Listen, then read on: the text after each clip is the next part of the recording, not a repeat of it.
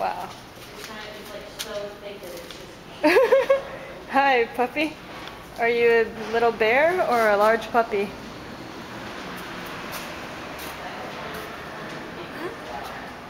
I hope you have a big apartment, mister.